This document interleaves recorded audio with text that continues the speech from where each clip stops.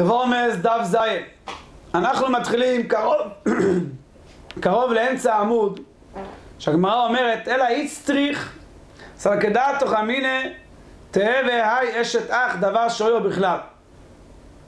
רק איפה אנחנו נמצאים? אנחנו שאלנו לעיל בשביל מה התורה צריכה פסוק ללמד שאסור ליבם ליבם את אחות אשתו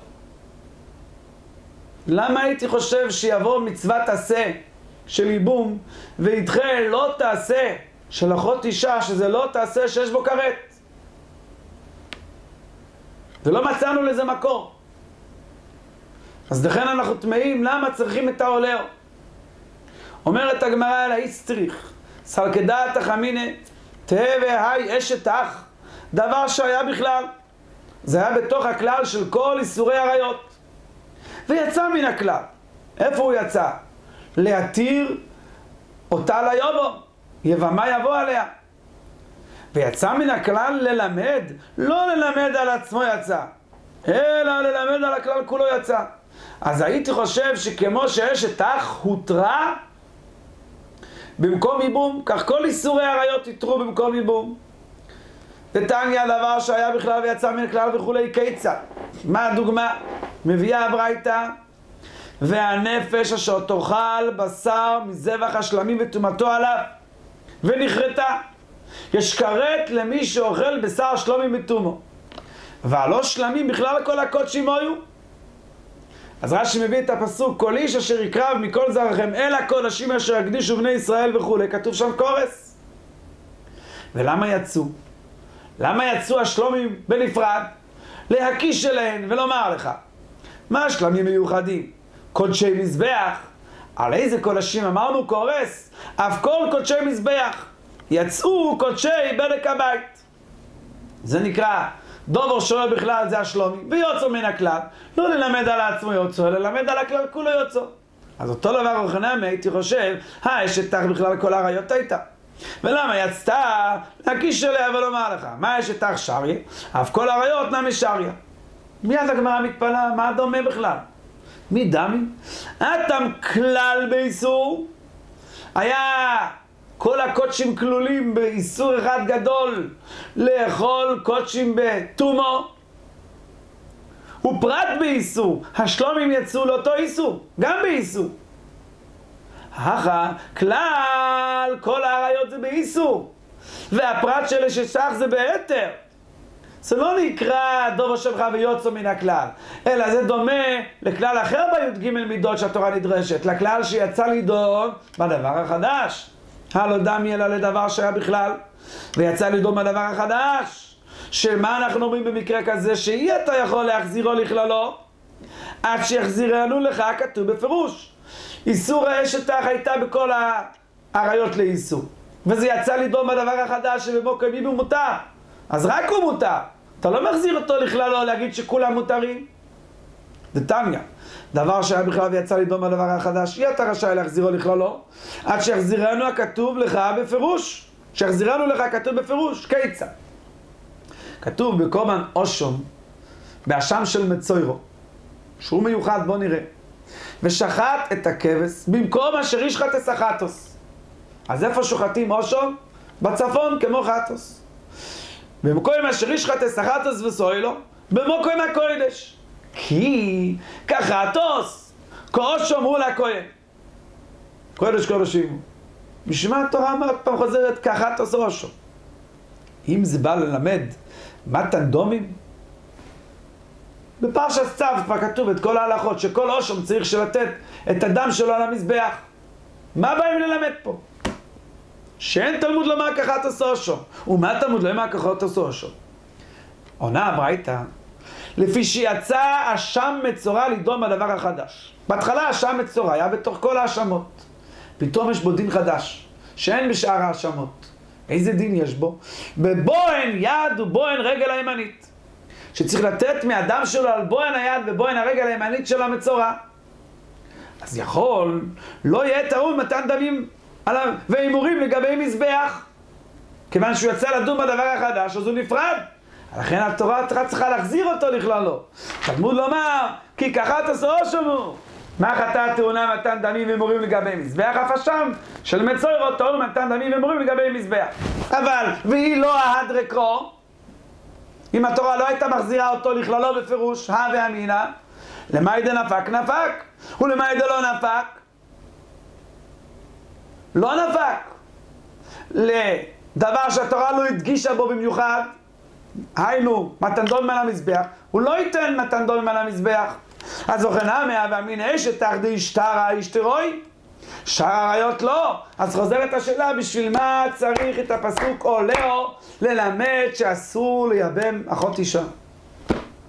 אלא, סרקדת חמינה, תייסי אחות אישה מצינו מאשתך. מה אשתך מיבמה? למרות שיש איסור, אף אחות אישה תתייבם. אומר איזה מין השוואה זה? מדומי, בכלל איסורי, איש אסך. אחת תרי סורי, גם איש אסך וגם אחוי אישו. עונה הגמרא, לא אכפת לי. מהו דתי מוי ואישתרי? אישתרי. כיוון שאיסור אחד הותר, הותרו כל האיסורים. מה המקור שאומרים דבר כזה? ומנת תמרי דאמרין הואיל ואישתרי אישתרי. דתניא. מצורע, רק נקדים ככה. יש שלוש מחנות. מחנה כהונו, מחנה לביו ומחנה ישראל. מחנה לביו זה הזורו. מחנה ישראל, סליחה, מחנה לביו זה הר הבית. מחנה ישראל זה ירושלים. אז ככה. אדם שנטמע בתומאס נבילו, בתומאס שרץ, ואפילו בתומאס מס, מותר לו להיכנס להר הבית. הוא לא משתלח רק ממחנה אחד. אבל זב, הוא משתלח משתי מחנות. רש"י מביא פה, חוץ לשתי מחנות כזב. ומי דומה לזב? בלקרי יש לו את אותו דין של זב. שהוא צריך להשתלח גם ממחנה כהונו וגם ממחנה לביאו, גם מן האזורו וגם מהר הבית. אבל מה? על הר הבית אין לו קורס, רק על האזורו. כשהוא נכנס בתום על האזורו זה איסור קורס. להר הבית לא. עכשיו בואו נקרא את הגמרא. מצורע שחל שמיני שלו בערב הפסח. כבר ספר שבעה ימים, כבר טהור לגמרי, והיום, היום השמיני, הוא צריך להביא קורבנות, ואז הוא יוכל להקריב קורבן פסח ויקיים מצווה ססה, שאם לא, הוא יעבור על קורס. וראה קרי בו ביום. אחרי שזרחה החמה הוא ראה קרי. וטוב על. עכשיו יש לו בעיה. הוא לא יכול לבוא להר הבית. והוא גם לא יכול להיכנס לעזור. כל מצורע שבא להקריב קורבנות עומד בשער ניקנור. שער ניקנור יש לו קדושת הר הבית, לא קדושת הזרה. ומכניס את הבהון, בוהן היד שלו והרגל שלו לבפנים, אל תוך האזור. ושמים עליו את הדם, וככה הוא ניתר. אז אמרו חכמים, אף על פי שאין טבול יום אחר נכנס להר הבית, זה נכנס. לא נורא. כדי שיוכל לעשות פסח. למה? מוטב שיבוא עשה שיש בו כרת, זה העשה של פסח, וידחה עשה שאין בו כרת. איסור עשה להיכנס לעזור להר הבית. יותר מזה, ואמר רבי יוחנן, דבר תורה אפילו עשה להסבל. מן התורה, הוא יכול להיכנס להר הבית. שנאמר, וימויד יוישופות בקהל יהודו לפני החוצר החדושו. למה קוראים לזה חדושו? מה חוצר החדושו?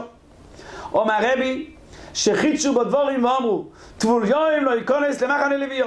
מצד הדין, בלקרי שכבר טבן, יכול להיכנס למחנה לביו.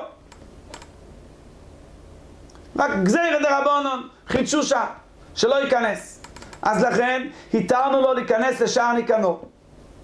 עכשיו, שם בזבוכים, שאלנו על אולה. אולה סובר שביאה במקצת, שמע ביאה. אז אמרנו לאולה, כל זה טוב ויפה שהוא נכנס לשער ניקנור. אבל את הבהונות של הידיים והרגליים, איך הוא מכניס לעזורו? הרי לעזורו אסור לו להיכנס מן התורה וזה איסור קורס. ואמר, אולה מתם, התרנו לו להכניס את הבהונות, אפילו שהוא בלקרי. הואיל והותר לצרעתו, הותר לקירויו. כל מצורע הרי, לפני שהקריבו את הקורבנות הוא טמא, לפני שנגמר הכפורו הוא טמא, אסור לו להיכנס לעזורו. איך התורה התירה לו להיכנס, להכניס את הבעונות? היא נתנה לו את תור מיוחד. אז כמו שהותר לו האיסור של מצוירו בעזורו, כך הותר לו איסור בלקרי בעזורו. אז רואים כאן, שאומרים הואיל ואישתרי, אישתרי. אז אותו דבר אצלנו היינו חושבים לומר, הואיל והאיסור של אחויס אשתו הותר, אז כבר גם הותר האיסור, סליחה, הואיל והאיסור של אש אסך הותר, כבר גם הותר האיסור של אחויס אשתו. אומרת הגמרא מדמי לדאולה, תינח, איך ידן, זאת אומרת, הציור שלו למה היה? קודם כל היה לו איסור מצוירו, ואחר כך איסור בלקרי. אז מתוך שפקע האיסור מצוירו להכניס בעונות לעזורו, כך פקע גם האיסור קרי שבא אחר כך, המאוחר יותר. אז מה? תינח איך ידנו סומס. קודם כל התחתן האח המת עם אשתו, ורק אחר כך נשא החי את אחותה. זאת אומרת, שזה שחי, קודם כל היה עליו, על האישה הזאת, איסור איש אסך, ואחר כך הגיע איסור אחויס אישו. אז אני אומר, מיגוד אשתרי איסור איש אסך שהיה ראשון, אשתרי ופקע נא מאיסור אחויס אישו שבא שני. אלו, נוסו חי. וקודם כל היה לו איסור אחויס אישו, ואחר כך נוסו מס. הרי איסור אחויס אישו קודם, אז אפילו אם פקע איסור איש אסך, מה פתאום פקע איסור אחויס אישו? ואפילו נשא מת, גם אני לא מסכים. למה? תינח אחד נשא מת, ומת. וכבר פקע כל האיסור. ואחר כך נשא חי את אחותה. אז אני אומר, דחזה לי, דביינה ביינה. האישה הזאת הייתה ראויה לו מקודם, והיה לו מצווה סיבוב, בהתר. אז אני אומר, נו, כיוון שהותר האיסור איש אסך, הותר גם אחוי אישו. אלא נשא מת ולא מת, ואחר כך נשא חי. לא יתחזה לכלל. וגם במקרה של אולה, מי לא מודה אולה שאם ראה קרי בליל שמיני, שהוא עוד לא היה ראוי רגע אחד להיכנס לעזור מצד התר איסור מצוירו. כי ההתר הוא רק ביום, ביום שמיני ביום, לא בלילה.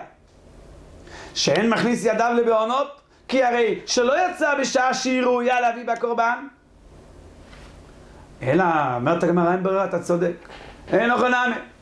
באמת, המקרה היחיד שהייתי חושב שמצווה ססי של איבום דוחה איסור אחוי סישו, כי צריך עולהו, שבשביל זה צריכים פוסוק ללמד שלא דוחה. דווקא במקרה של איכד הנוסו, מס ומס, ואחר כך נוסו חי.